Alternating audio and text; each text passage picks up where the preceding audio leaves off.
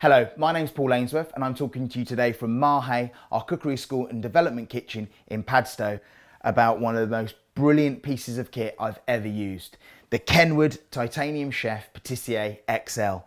Now, where do I start? This literally is a brilliant, brilliant piece of kit, piece of engineering, and so well made. Even the more simple things like coming with two bowls, a five litre bowl and a seven litre bowl.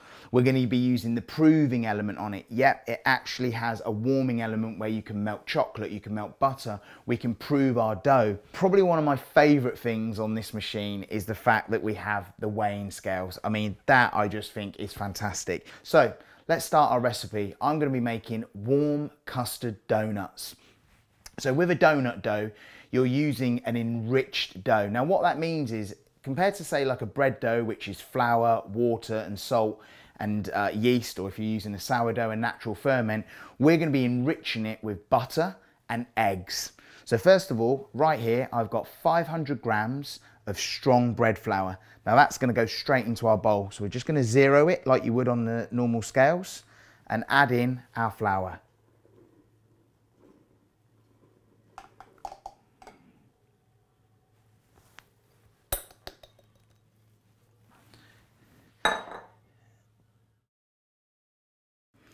So we've got our bread flour into the bowl. Now we're gonna add our sugar. So we've got 60 grams of sugar and 10 grams of salt. Now you notice I've kept my ingredients separate on purpose, even though they're going into the same bowl, because we don't want the salt to react with the yeast together. So we're just gonna crumble. I'm using fresh yeast. You can use dried yeast, it's no problem at all. So I'm just gonna crumble that into the bowl.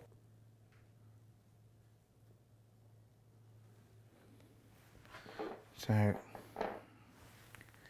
yeast is crumbled in.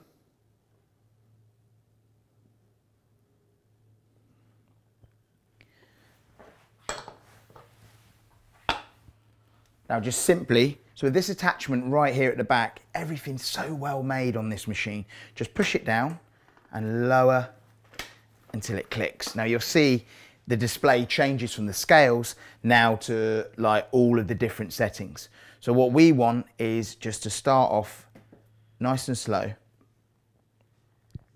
You can use a timer so we can put the timer on.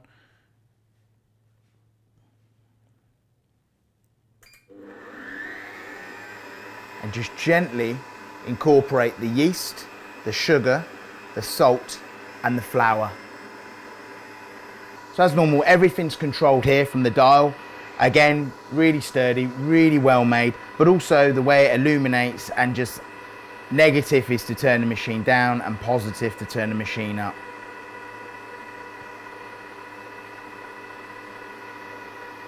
So we're just going to incorporate here our flour, our yeast, salt and sugar. I'm just going to get our yeast that we've got from the side.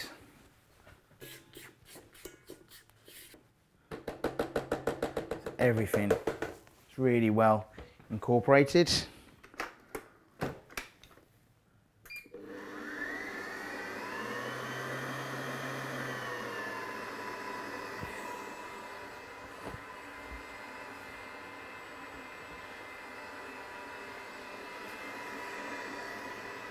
Now, I'm going to turn the machine down and slowly add in our eggs. One at a time.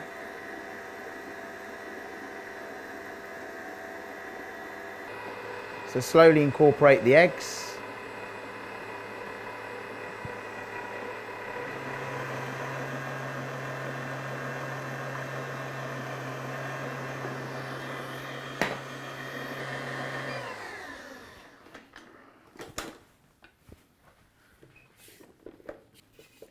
Give the side of the bowl just a little clean.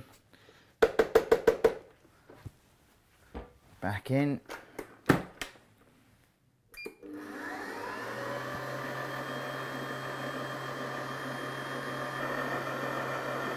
Another one of the features that I really love is the way that you have this nice light, beautiful light that sits under the driving mechanism which turns the whisk or the dough hook which we're using and really lights up the bowl so you really see everything in the bowl being incorporated in. And it's actually quite handy shining the light on ingredients like this because you can really see what's happening. So our dough now is combined in beautifully. And next we're gonna add tepid water. So we've basically got here 125 mil of tepid water. Just a bit at a time. And you really see now the hook working beautifully, bringing everything off the sides of the bowl and incorporating. You can even hear that different sound as it starts to form a beautiful ball of dough. Now these are simple ingredients, but it's important to buy a really good quality flour like what we're using here. But we've also got these incredible Cornish egg yolks from St. Ewe Farm. So nice, rich orange egg yolks. We've got a lovely, rich Cornish butter. Just gonna add a touch more water.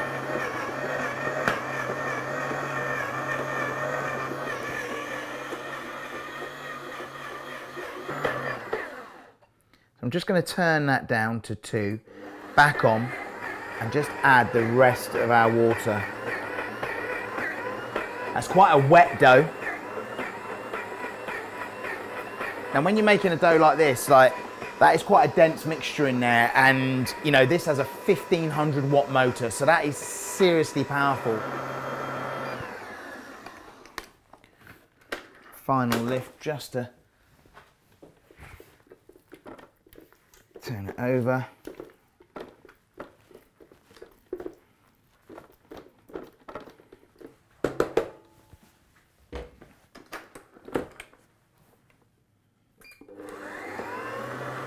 Now, at this stage of the recipe, we've just got our butter left, so that's gonna make our dough really, really enriched. We've got those lovely egg yolks in there. I'm now gonna leave that for about eight to 10 minutes. I've got it on speed setting three at the moment. I'll probably turn that down to two after about five minutes. And basically what's happening here is we are just stretching the gluten in the flour and just making our dough really nice and elastic. So we've got a really, really good dough. So again, when we, when we kind of like prove it and make our balls, it's not pulling in on itself because the dough has properly been worked, which this Kenwood does brilliantly.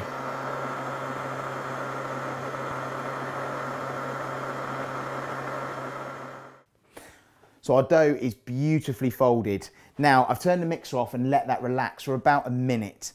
Now, depending on what ingredients you're using, say like your flour, if the dough's a little bit too wet, then add a little bit more flour. If you find that it's quite dry and it's coming off the bowl quite easily, then add a touch more tepid water. But a dough like this is very enriched, but it's also important that it's wet, that it's got a lot of hydration because further down the line, that will make for the best donuts. So I've allowed this now to rest for one minute. I'm going to turn the machine back on.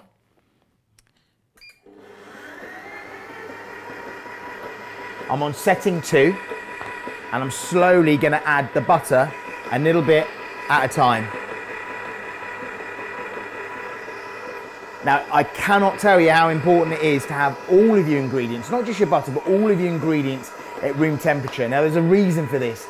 If the ingredients are at room temperature, everything will just fold beautifully into the mixture.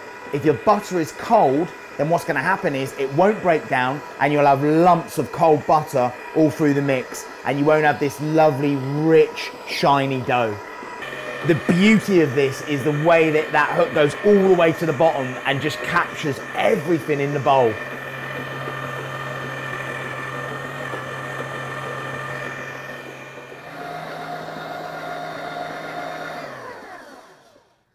And there you have it. As you can see, our dough is really shiny from the beautiful egg yolks, the gorgeous butter.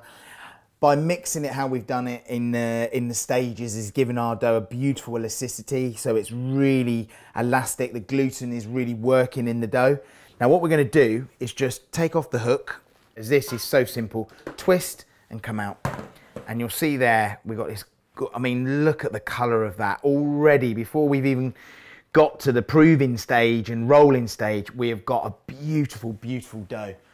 Now, if you haven't got one of these, no problem at all. Use a Maurice, a scraper, whatever you like. So this is called a pastry scraper or a pastry card. So we're just gonna grab the bowl and we're just gonna go in. So you can see we can form that, I'll show you that lovely, I mean, just look at that. Oh my goodness. Like that. Quick clean of the hands. And now we're going to come onto a function which I again think is absolutely brilliant. We're going to put some cling film, just like you would if you were going to prove in a traditional sense. So what proving means is, is we're going to, we're going to add a warmth to the dough. Now that warmth is generally around 25, 35 degrees. You know, 30 degrees is, is about perfect. And what happens is the warmth then activates the yeast. And that is what makes our dough prove. Pop it back onto the machine, twist into place. So we've got our cling film over our bowl, and now we go back to the main preset. So over, and if you scroll down, you'll see you've got dough kneading. Uh, we're going to use dough proving. Now here you'll see, if you select there, you can actually change the warmth by going up and down. Now it recommends to, and that's exactly where I'm going to stay. It's already set at an hour, which is actually the perfect proving time for this dough that we're using. So going to go back onto the time, push it once. It basically illuminates red to tell you that it's proving and that's it. The timer counts down and it will let you know when it's finished. And that is your dough proving, which for me, I think is a phenomenal feature for this machine because quite often, even in professional kitchens, if the temperature's low or you haven't got that perfect setting for proving, it can be quite difficult. So to be able to do the whole thing in the machine, even going back as far as when we weighed it in there, we've made our mix in there, now we're proving it in there, what a piece of kit. Absolutely brilliant. The Kenwood is fantastic for this. So the machine has automatically come to an end. It's counted itself down from the hour and it's had a one hour prove, which is brilliant. We're just going to lift that up, twist off, remove our cling film. Okay. Straight away, you remove that cling film and you just get this hit of like warm yeast. Love it. So on our surface, we're just gonna quite heavily flour it because this is a very, very wet dough, as I explained earlier.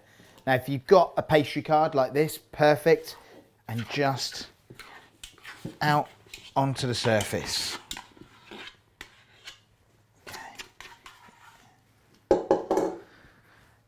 Now this is this technique is called knocking back. So you'll see what the yeast has done is basically put air, it's basically let off the carbon dioxide into the dough and we're just gonna knock it back. You can see and feel the air just coming out of the dough. And that's what the yeast has done by reacting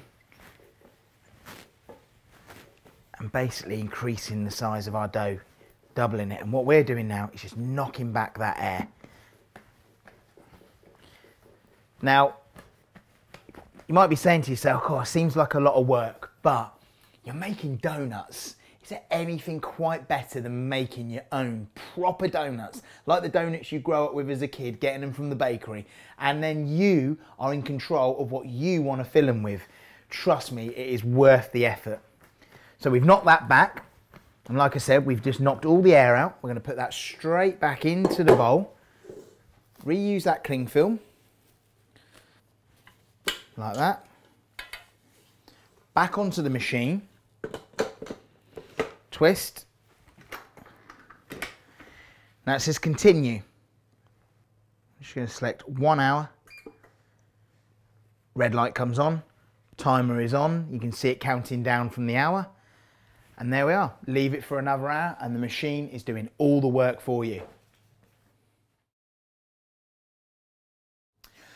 So same again, your dough has now had its second proof. So it's come from the Kenwood after one hour. We've taken it out of the bowl and put it onto our nicely floured surface and we've rubbed some flour over the top. You can see how light and airy it is and basically the yeast really, really doing its job. So what we're gonna do now is we've got some scales, a heavily floured tray, some excess flour for dusting. I'm just gonna make sure my hands are well dusted. My pastry card is nicely floured. And I'm just gonna roll it into like a, like a sausage shape, but I'm being really gentle.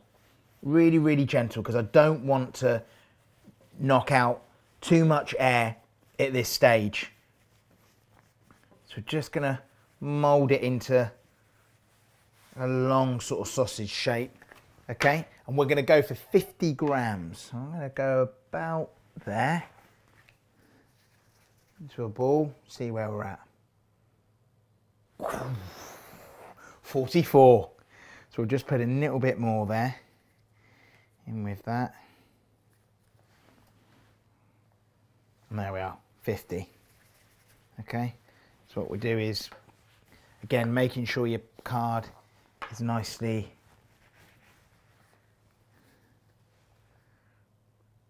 bit heavy on that one. You want to take a little bit off.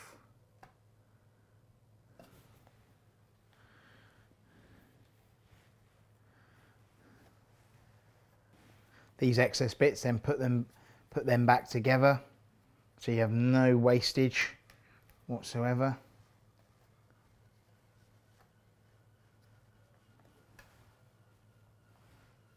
You get the idea. Into your bench, your hand like that, cup it over. And it's at the back of my hand, it's not at the front of my fingers, so it's kind of rolling about in my palm, giving it a lovely round shape. And you want them a nice distance apart on the tray, so they're going to have their final and third prove on the tray before we put them into the hot oil. So they will increase in size again, so it's good to have a good distance apart from them.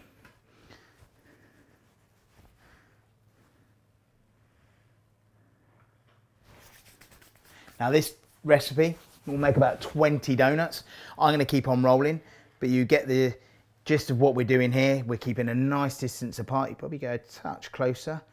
You definitely get them all onto this tray. They're not gonna increase that much in size. And again, either a really, really light tea towel or a nice thin piece of cling film over the top and then into kind of like a really nice ambient, dry, warm place. The final proof will take about 30 minutes. And then once we've got the final proof, we then come back to cooking and filling.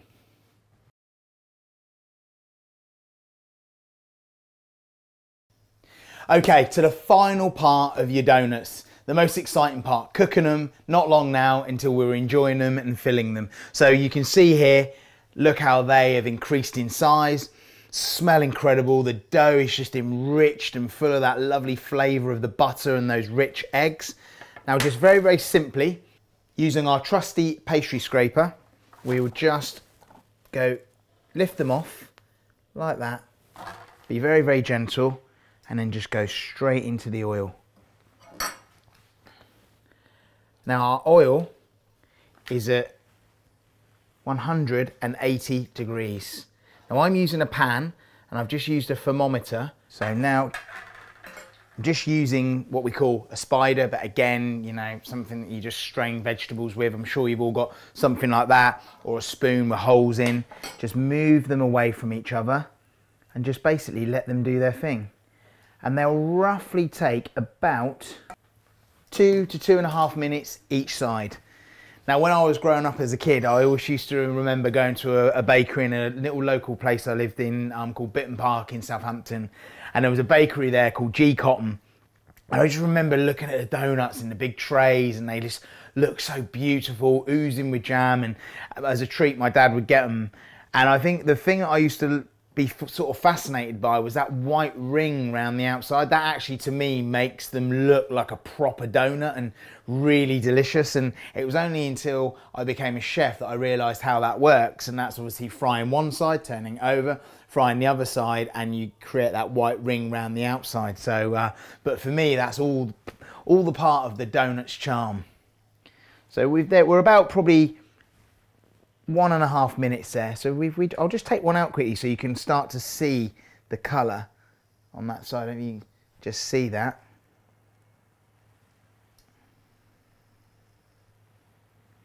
So I'll go about another minute and then I'll turn them. And they're just cooking really beautifully. And it's worth the effort. That's what the proving's for.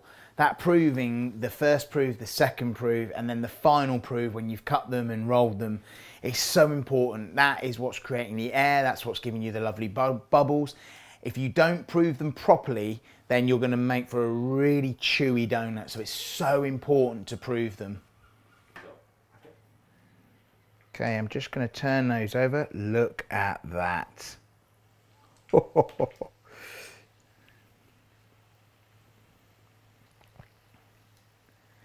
and there you can see the famous ring that I'm talking about.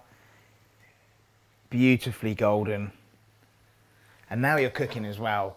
That fat inside the dough is doing its job. Those wonderful eggs doing their job. That lovely sugar and sweetness which will be caramelizing. The salt which will just be giving it that little element of savouriness.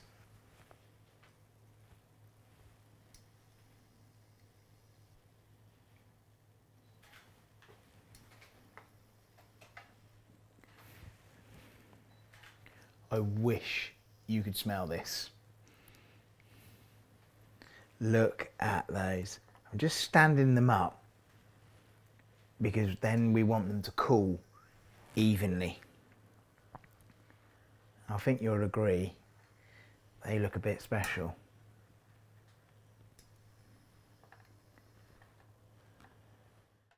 Right, so in here I've got just a beautiful vanilla custard, okay, with a little piping nozzle. Grab the end, pick up your donut, take it into the palm of your hand and just make a little incision at the top. Push the nozzle in and just pipe. You want to be incredibly generous. Feel the donut like expand in your hand so you literally can't get any more in there. Take it into the sugar, roll it around.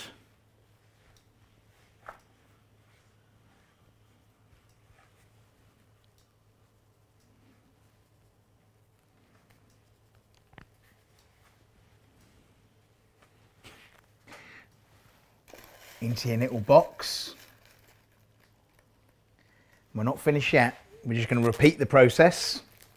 So plunge your nozzle in, pipe as much as you can get in there. Feel the donut expanding into your hand. And then roll it around in the sugar. The fact that it's coming out the top like that, that's a good sign. Okay. Into your box.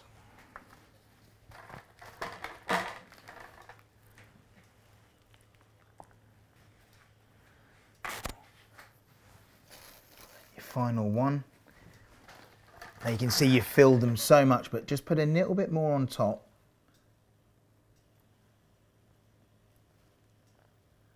Like that.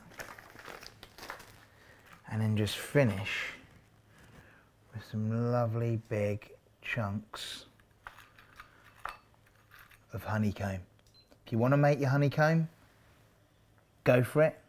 If not, go and buy a Crunchie bar just as good. And there you have it. All that work and effort, I think you'll agree, totally worth it. Homemade donuts. Again, all the work done by the Kenwood Chef Titanium. Vanilla custard and honeycomb. Enjoy.